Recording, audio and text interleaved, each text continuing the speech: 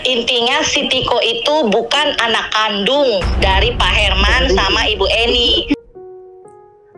Anak dari istri pertama ayah Tiko, sebut ayah Tiko diusir Ibu Eni dan sudah meninggal dunia 2015 lalu. Hingga sebut Tiko bukan anak kandung dari Ibu Eni dan ayahnya. Kisah Ibu Eni dan sang anak Tiko yang belasan tahun tinggal di rumah mewah terbengkalai tanpa air dan listrik terus menjadi perbincangan warganet. Ibu Eni yang disebut jadi istri kedua mengalami depresi saat sang suami pergi meninggalkan dirinya dan Tiko. Baru-baru ini ada fakta baru terungkap. Keluarga dari mantan suami Ibu Eni memberikan klarifikasinya terkait berita yang beredar. Setelah mantan suami Ibu Eni, Herman Boji Susanto memutuskan untuk kembali ke kampung halamannya di Madiun, Jawa Timur. Lama tak terdengar kabarnya, ternyata mantan suami Ibu Eni tersebut sudah meninggal dunia sejak tahun 2015. Bukan hanya kabar mengejutkan itu saja. Melalui kanal YouTube Pratiwi Novianti, seseorang bernama Uri Muji Astuti yang disebut sebagai anak pertama dari Herman Muji Susanto dengan istri pertamanya memberikan klarifikasi atas informasi yang sudah beredar di media sosial saat ini.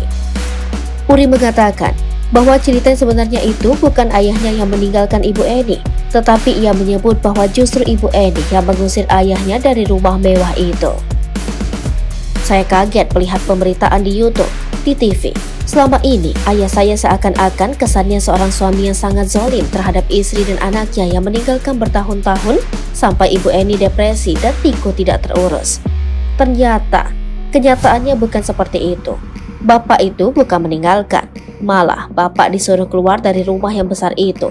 Kata Uri melalui sambungan telepon dalam kanal YouTube Pratiwi Dovianti, Jumat 6 Januari 2023. Uri juga menambahkan bahwa ia pernah bertemu ibu Eni dan ayahnya pada tahun 2006. Pada saat bertemu, ia melihat ayahnya sedang dalam keadaan sakit dan seperti tidak terurus. Saat menanyakan kenapa kondisi ayahnya seperti ini, Ibu Eni malah marah-marah dan ia juga menyebut sifat Ibu Eni dari dulu memang sudah keras.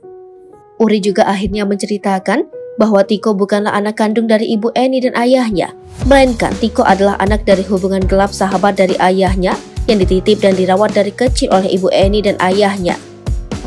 Intinya, si Tiko itu bukan anak kandung dari Pak Herman dan ibu Eni. Dia ini hanya anak yang diasuh dari kecil akibat kecelakaan dari keluarga temannya Eyang. Karena dari bayi sudah dirawat, jadi seperti anak sendiri.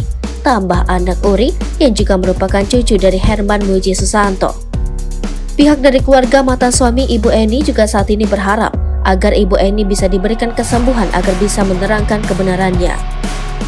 Dia ini hanya anak yang diasuh dari kecil akibat uh, apa uh, kecelakaan dari keluarga temennya